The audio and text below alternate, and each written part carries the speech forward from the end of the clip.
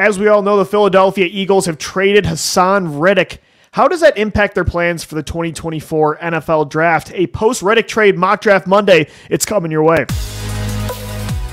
You are Locked On Eagles, your daily Philadelphia Eagles podcast. Part of the Locked On Podcast Network. Your team every day.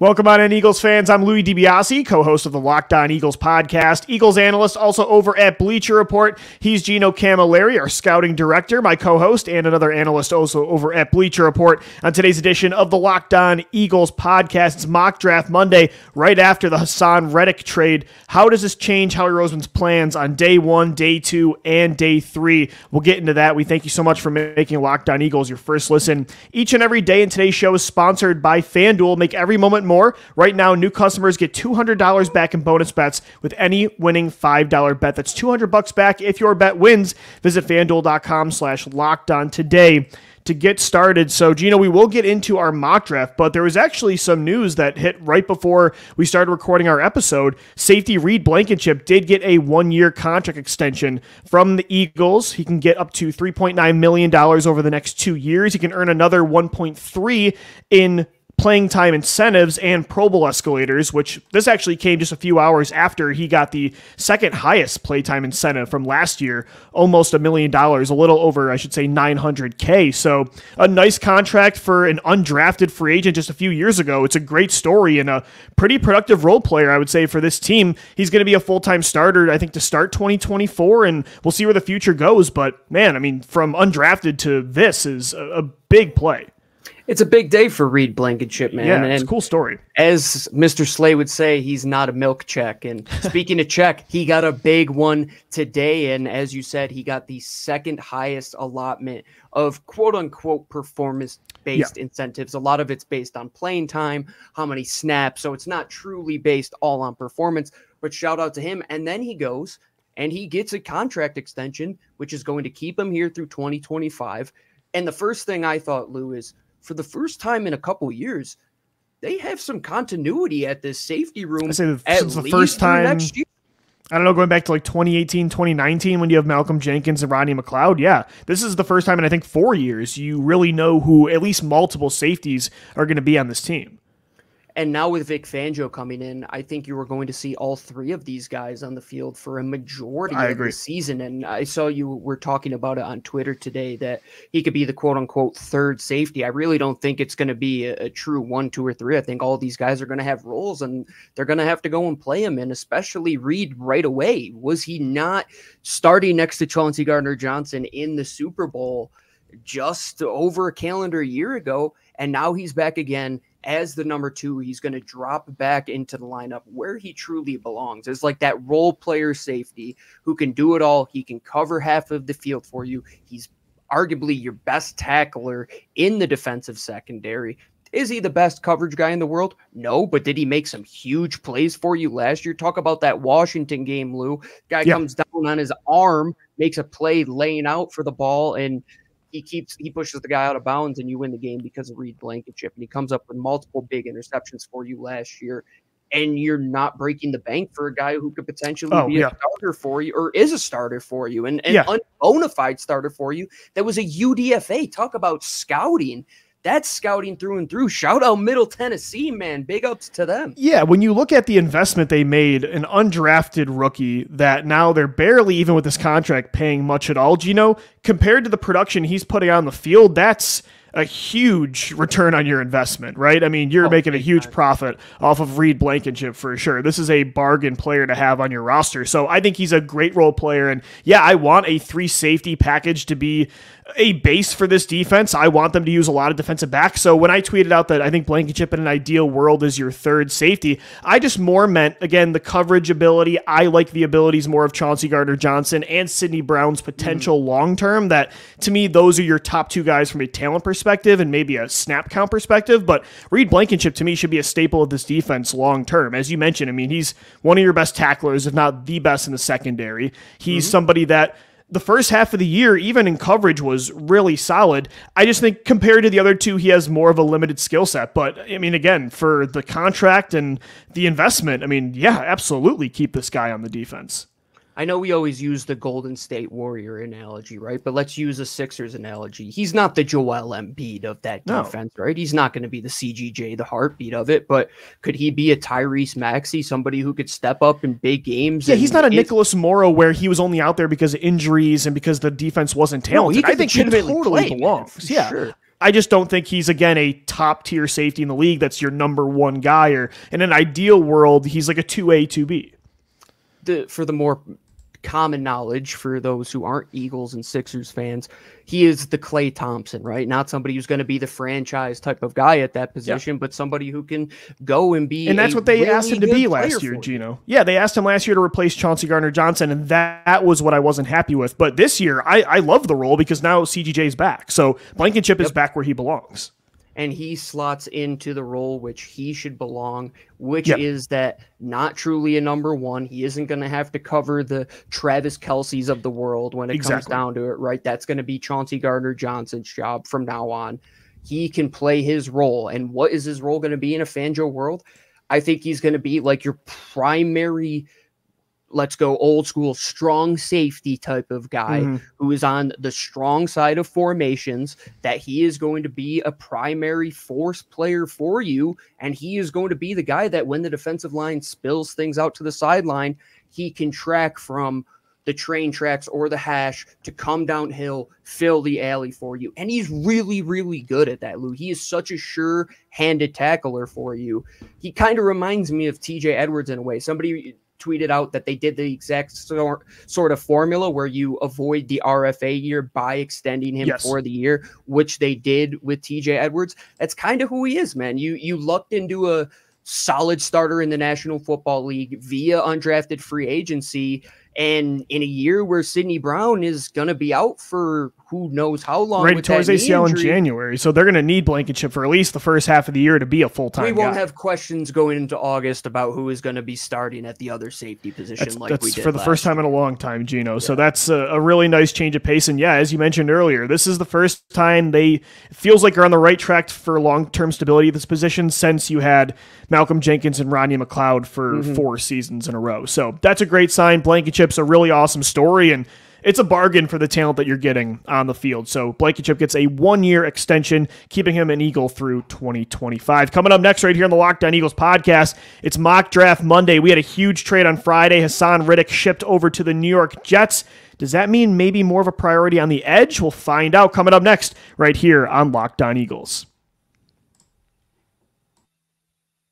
Mock Draft Monday here at LOE. It only means one thing that this episode is brought to you by our fan, our friends over at FanDuel, excuse me.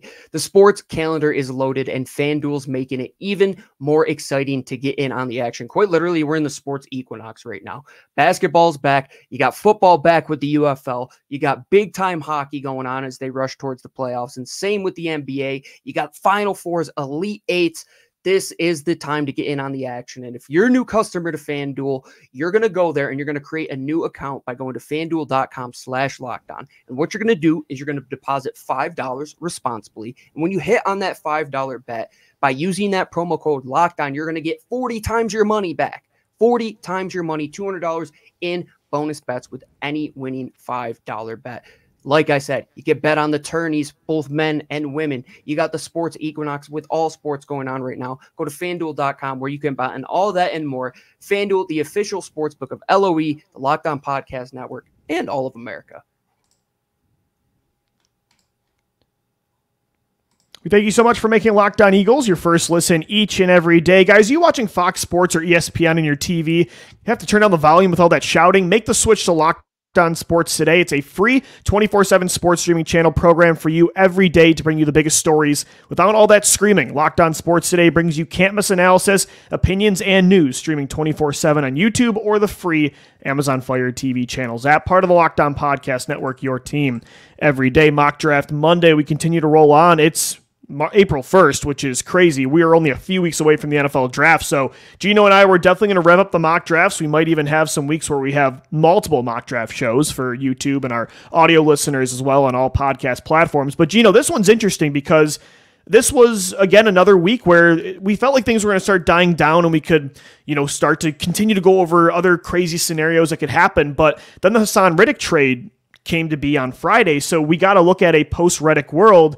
What does that change up here?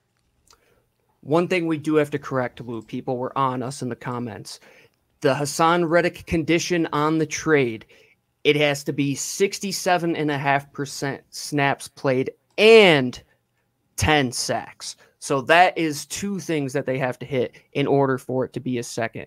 But when it comes down to the personnel department, I asked this question to you on Friday's show when we first mentioned it.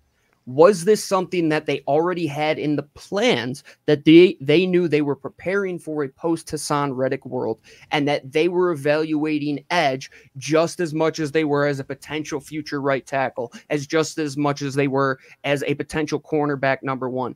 Or and I'm assuming it's going to be the first option because Howie Roseman is somebody who will turn over every stone. Did they just say, okay, it's time to go and start evaluating this edge talent? I will say that they've probably been looking at this group for a while. It probably gave them confidence at yeah. how potentially deep this group is that they could go and find help on top of what they already have in a very young group now.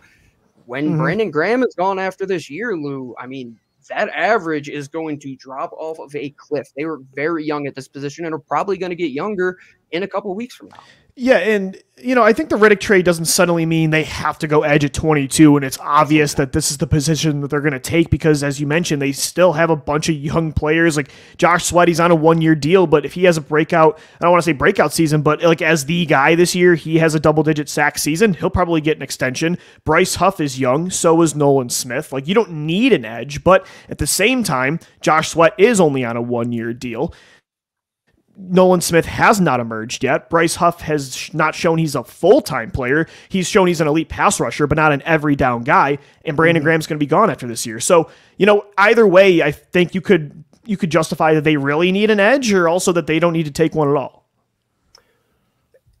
22 is really starting to set up for truly the best player available scenario, in my opinion, Lou. I know you said it that you hate the idea corner, of it, but yeah. Yeah, if you remove corner, and I think those guys are probably going to be off the board. I mean, the, the big three are Nate Wiggins, Quinyon Mitchell, and, and Terrion Arnold, and I think all of them are going to be gone. So, do you sit there and one of those tackles falls to you, or do you draft potentially the best edge in the class that could fall to you? I don't know if you like Laiatu Latu or Jared Verse more, or what your cup of tea is. But that's a decision the Eagles are going to have to find. Do they want they tr- a true replacement to Brandon Graham in that hand in the dirt, front side, strong side, run defending edge rusher? Or do they want somebody who's going to be a complement to what Nolan Smith and Bryce Huff can do? After the top of the draft here, it is really kind of pick your flavor at this position. Yeah. But when it boils down to it, could you end up with a really good player for multiple good seasons by drafting an edge on day one? In my opinion, yeah, there's five guys that you could potentially get out there and put in rotation right away. I think so too. And the draft at the top is going to be very offense heavy. Let's start this mock draft off though. Taking a look at the board, there was a run a little bit on some top edge rushers early. Dallas Turner from Alabama went at eight overall here to the Falcons. Uh, the Bears right after took Latu from UCLA at nine. Uh, Jared Verse, who I really like from Florida State, he went at 16. So three of the top edge rushers did go um, inside that top 20 there. So Gino, I had the pleasure of taking the first pick last week. Went with Edgerrin Cooper after trading down with the Chiefs to pick 32. Tried to spice it up, go linebacker day one. You've got 22 now. So let's pull up the edge board here, and of course, yeah. Let's see what top, let's see what we got so far. It is Chop Robinson. It is Darius Robinson, Chris Braswell's right behind them, Adisa Isaac, Bralen Trice, if that's your cup of tea, out of Washington. I know that Chop Robinson is the Philly pick. It makes so much sense. But Darius Robinson, yeah, if there was ever an exact clone of Josh Sweat where you could take this guy who is he a true edge player? Is he a true interior player? He's just really long and really athletic and can play football really, mm-hmm. really well. I like that pick. Is 22 maybe a little bit rich for your blood? I don't know, but having somebody that could play multiple positions, versatility that fits height, weight, speed standards as an athlete and played big time football in the SEC, that pick makes so much sense. And you want to see the production base and the traits base. That's the guy. Chop, you don't know what he can be. Darius Robinson, I really like what he already is. I think you might get a higher ceiling with a guy like Chop. He could be a, yeah. a, an all world edge rusher for all you know. But at the same time, he could be what he is now and maybe be in a rotation and get you three sacks a year. Or Darius Robinson could really be the freak of nature, which he is, and, and go out there and dominate at the line of scrimmage, at the point of attack, and be the guy who takes over for Josh Sweat in a year. No, I, I actually agree. And I, I, like the logic of, yeah, Chop Robinson. Like, I love his explosiveness off the edge. That is something that he again his ceiling is there. He's got all the traits, but you already kind of have a couple fastballs in Nolan Smith in Bryce mm-hmm. Huff, and like you said, Josh Sweat's only on a one year deal. Maybe instead of having the more versatile athletic guy on the outside, like a lot of times we talk about, can a player be you know an outside linebacker and also rush the passer?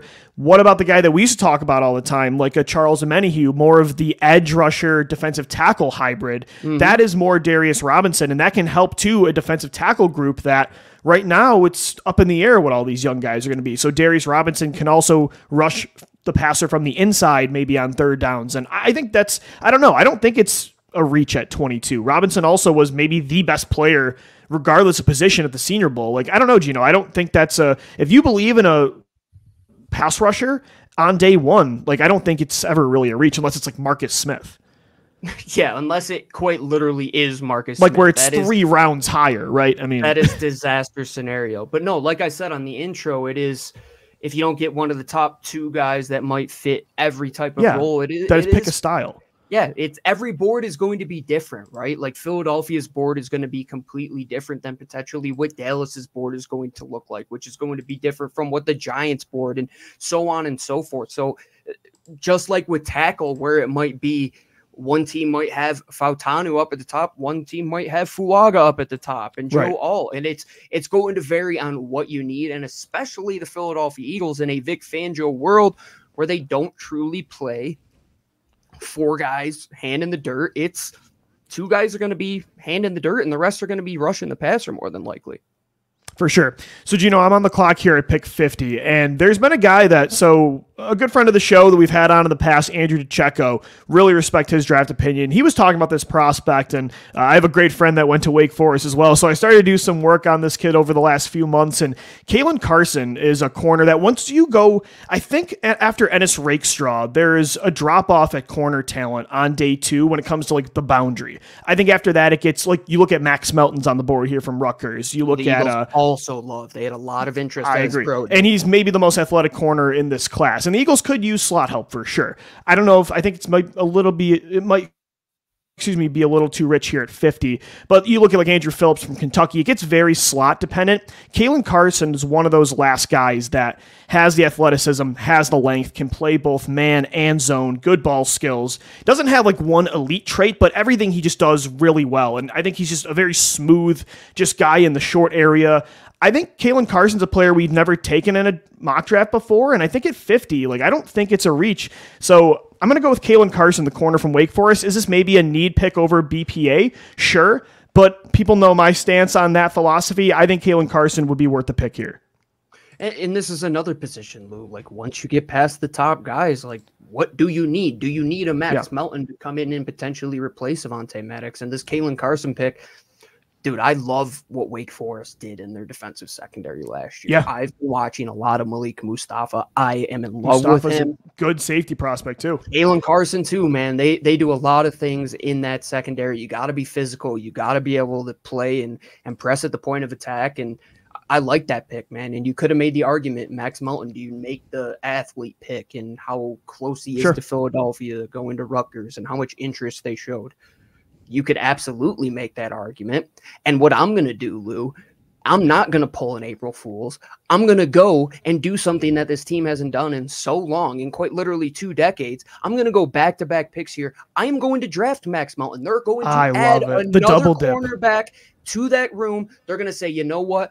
No more playing around. We're going to double dip at this position. We're going to go defensive heavy off the top. This is truly what we need. And folks, if this is April Fool's Day, I don't play into any of those jokes. If this is how the Eagles board looked, that they went edge, cornerback, cornerback, you're not only getting two positions of need, you're also getting three guys in the top 53 to add to a unit, which severely dropped off a cliff last year. They need help in the worst way. Could they go really defensive heavy like that Carolina Panthers draft under the first year of Matt, mm-hmm. year of Matt Rhule? That could be the case, Lou. They need so much help there. And then you've got some staples of young corners, right? Because Bradberry and Slay, like this might be the last year for those two. It might not even be this year that James Bradberry gets still in Philadelphia. So you've got Kelee Ringo, you got Isaiah Rodgers coming off that suspension. Then you throw in Caelen Carson and Max Melton. Like, Gino, of those four, you have a really good chance of finding two or three studs. And who's to say they can't do it? They did it 20 years ago. You look at that draft when Bobby Taylor is as old as he is, and they finally go out and invest in multiple guys in that defensive secondary. And you think of the Lito Sheppards who come into the league and the Sheldon Browns. Like, even though you have good players on your roster, you have to look ahead. And who's to say that they don't double dip at this position, which they have done multiple times? They do it at wide receiver and they do it at cornerback. I love that we finally did this. And I think the board fell in a way that we could go and approach it like that.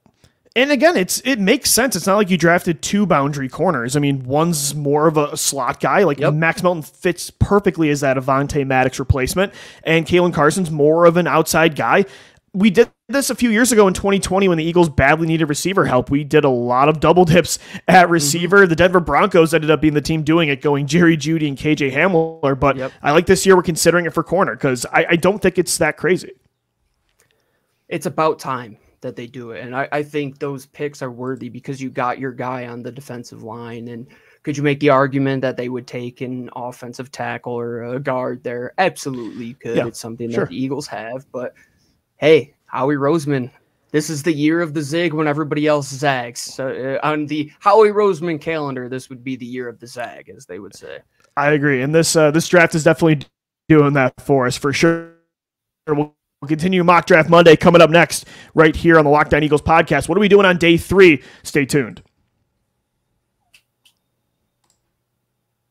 Today's episode of the Locked On Eagles podcast is brought to you by BetterHelp. A lot of us spend our lives wishing that we had more time. The question is, time for what? If time was unlimited, how would you use it? The best way to squeeze that special thing into your schedule, for me, it's mock drafts, is to know what's important to you and make it a priority. Therapy can help you find what matters to you so you can do, do more of it. If you're thinking of starting therapy, give BetterHelp a try. It's entirely online, designed to be convenient, flexible, and suited to your schedule. Just fill out a brief questionnaire, get matched with a licensed therapist, and switch therapists anytime for no additional charge charge. Learn to make time for what makes you happy with BetterHelp. Visit betterhelp.com slash locked on today. You're going to get 10% off your first month. Once again, that's betterhelp.com slash locked on. 10% off your first month of online therapy. We thank BetterHelp for sponsoring the Locked On Eagles podcast today.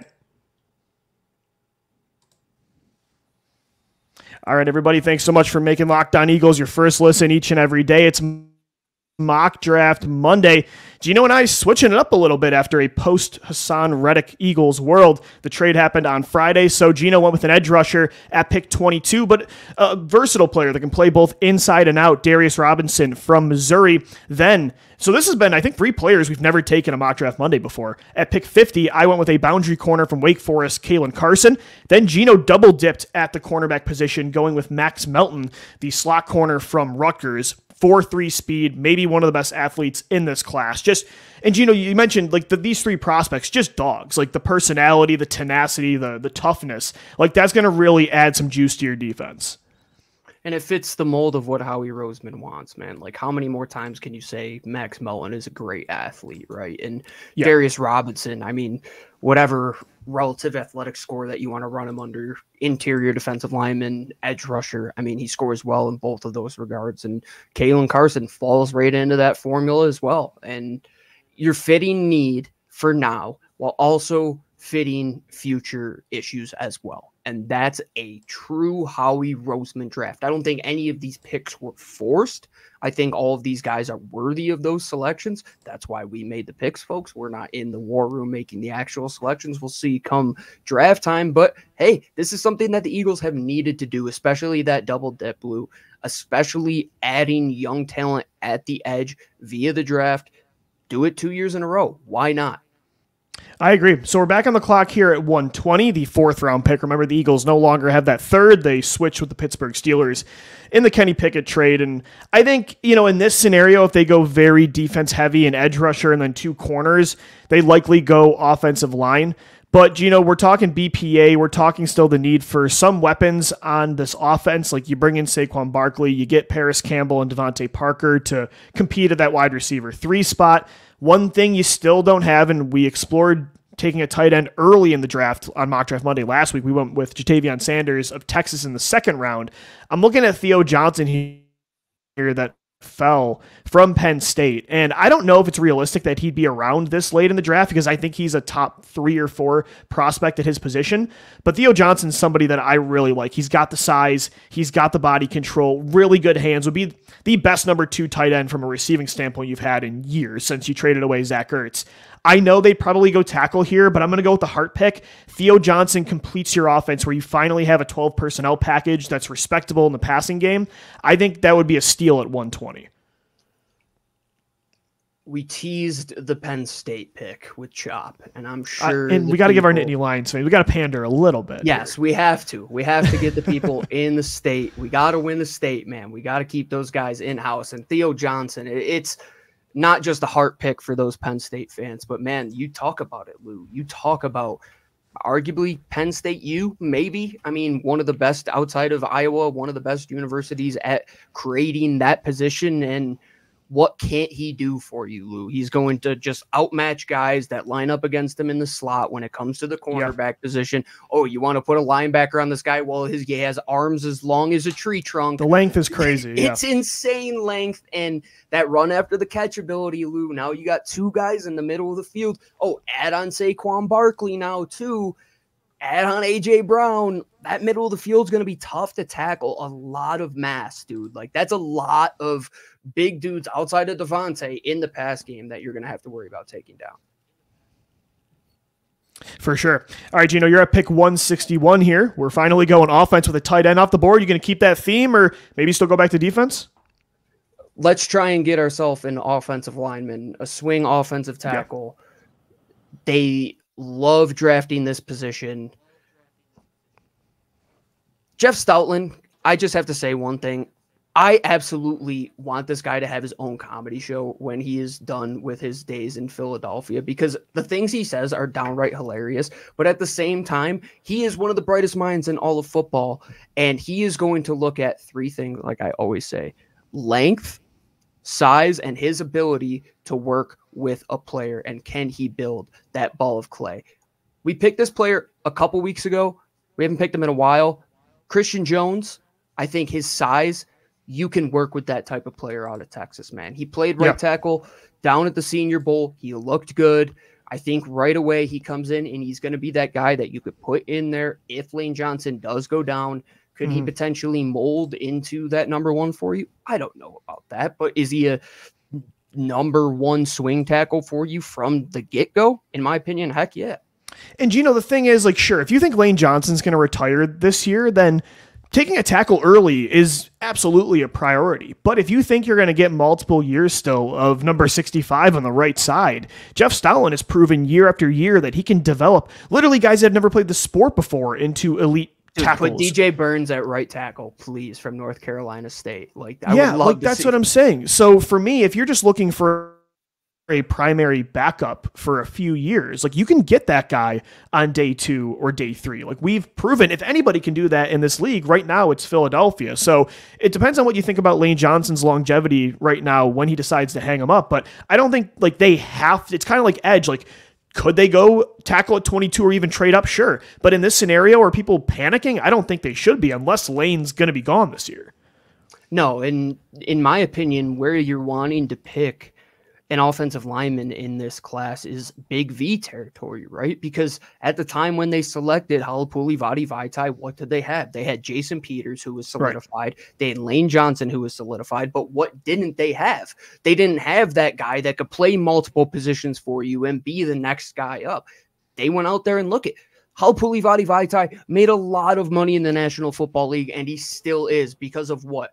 Jeff Stoutland, his ability to play guys at multiple yeah. positions and his ability to mold them. I'm with you, Lou. I, the more I think about it, like, yeah, is Troy Fautanu? It, would it be awesome to to have a Washington of guy course. to come here and put on the Eagles green? And he's really, really good. Yes, but can you get those guys at the top of drafts that Jeff Stoutland can identify every single year?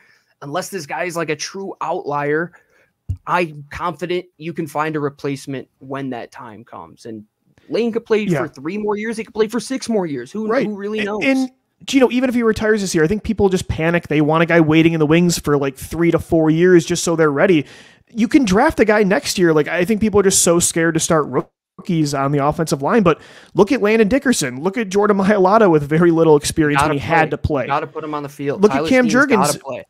Yeah, in his second year playing a brand new position. Young guys got to play, and I know Eagles fans are so used to veterans that are elite playing for decades, and so you get scared of that unknown again. But you don't have to always be so proactive where you're taking them years in advance and wasting years of that very inexpensive rookie contract. So I don't mind mm-hmm. the strategy we're taking right now. We're back on the clock here at 171 and 172. This is the longest we've gone on mock draft Monday without going with a linebacker. I'm going to take one that I think some people would know from Ohio State, Tommy Eichenberg. When you talk about motor, just getting downhill, is this a perfect three down linebacker, Gino? No. Is he a guy, though, that I think could play if you need him? If Devin White doesn't work out, if Nakobe Dean gets hurt, yes, I think this would be pretty good value for 171. Eichenberg played in a lot of big games, and I think he's a smart player. That's this is good value. And at this point, what are you looking at at the linebacker position at this point in the draft and this point in the season, right? Because you signed yeah. Devin White, you're anticipating that Nakobe is going to come back. He is going to play a big role for you. I'm still under the presumption that Zach Cunningham will come back probably and be on this football probably. team. Yeah. You got to replace Shaun Bradley. Yeah, you, you need special, teams special teamers. Mm-hmm. Tommy Eichenberg, that's what he can do day one for you. Yeah. And he could potentially fill in and be a linebacker for you, like you said, because if Ben VanSumeren is getting snaps, why can't Tommy Eichenberg? Exactly. All right, Gino, 172. Let's go to the safety position. I think it, okay. it's time that we we started talking about safety on this show. Let's continue to talk about safety on this show. One guy that I am going to pick, and it is not for the bit. We're not going to take Evan Williams.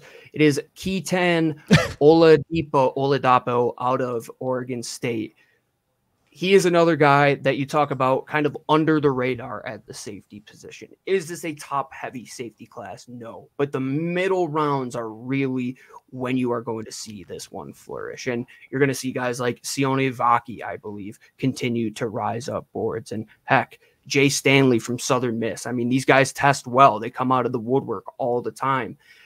You just go and add one of those guys who if Malik Mustapha was on the board, I'm taking him. I think he's yep. going to go way higher.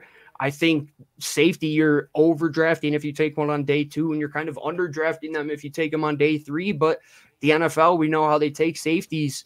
I think you're going to kind of luck into a, a pretty good player there in Kitan Oladapo there out of Oregon State. I hate them taking a Beaver and complimenting Washington. I kind of love show. it. Daniel Jeremiah did tweet out today. Interesting that you were talking about the safety class. He said safety and running back are very similar, where there's not some obvious day one pick, but you're going to see a run in rounds two through four where yep. it's very like middle of the pack heavy, and I think you're going to definitely see that at safety. 100%. I mean, you're going to have to add another one. I mean, Justin Evans isn't there anymore, and what do you have behind the big three that you currently have? Nobody. Yep. All right, our final pick here at 210. Deciding between a couple guys, we've taken this player once, I believe, and another one's been a, a big staple of Mock Draft Monday, Jha'Quan Jackson from Tulane at receiver. I'm going to go with running back Gino, though. I'm going to go with Isaac Guerendo from Louisville, power back, long range speed. Like this guy can really get up to a 4 4, maybe even under that. Um, I, I, think that'd be a good compliment to what you got with Saquon Barkley and Kenneth Gainwell. A different style of back, and there's your uh, there's your three headed uh, committee in the backfield. Talks are that the Eagles are still looking at backs in this class even after the Saquon yep. signing. I forgot who it was. It might have been Jeremy Fowler who had said that, but credit to whoever it was. But the Eagles always look on day three or in undrafted free agency. They're going to go and try and target that position because when they go into camp, they want five or six guys that can tote the rock. And even with Saquon, who's not going to touch the ball at all until the regular season starts, there's going to be right. a large opportunity to bring in some bodies into camp and see if you could potentially find the next Corey Clement for a season. And you bank on guys exactly. like Guerendo who are high quality athletes. And again, Saquon Barkley has an injury history too, Gino, and he's going to get a lot of touches in this offense. I don't want it to just be Kenneth Gainwell, and that's the only plan you've got in the backfield. And Boston Scott, like it always felt like when he was your third guy, your second guy really was your main plan because Scott could never be somebody that takes mm-hmm. on a mm-hmm. big workload with that size. Whereas Guerendo, I feel like if Saquon were to go down, he's somebody that's a, more of a candidate to really take on a big role yeah, he's just got to show it. He's just got to go out there and use that yeah. speed getting downhill, man. Like just put the shoulder down and get those yards, and that's where he flourishes. Yep. All right, that's going to do it for Mock Draft Monday right here in the Locked On Eagles podcast. Uh, a different one, but I really like it. Darius Robinson, the edge from Missouri at 22. Double dip at corner on day two. Caelen Carson from Wake Forest and Max Melton from Rutgers at 50 and 53. Penn State tight end Theo Johnson in round four. Then Gino went with tackle from Texas Christian Jones. Tommy Eichenberg, the linebacker from Ohio State uh, Kitan Oladapo, the safety from Oregon State, and then we wrap things up with Isaac Guerendo, the running back from Louisville. We will be back tomorrow right here on Locked On Eagles. Thanks so much for making us your first listen each and every day. For Gino Camilleri, I'm Lou DiBiase signing off. Thanks so much for downloading, watching, and listening, and let's go birds. Fly, Eagles, fly.